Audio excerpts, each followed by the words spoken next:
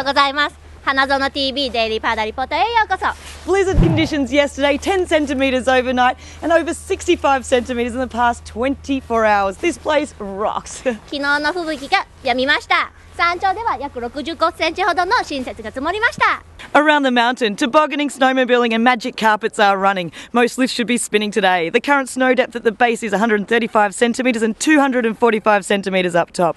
Wind chill is down to minus 20 degrees with a daytime high of minus 5. Westerly winds should be moderate, averaging 15 to 35 kilometres per hour.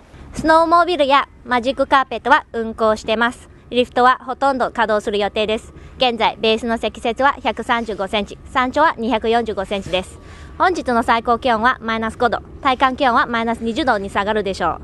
風速は4.1から9.7メートル西の風が穏やかに吹いてます。Light snowfalls forecast for the remainder of the week. 天気予報によるとこの1週間は晴れ時々雪となるでしょう And make sure you register for the Terrain Park series to take out top place this season.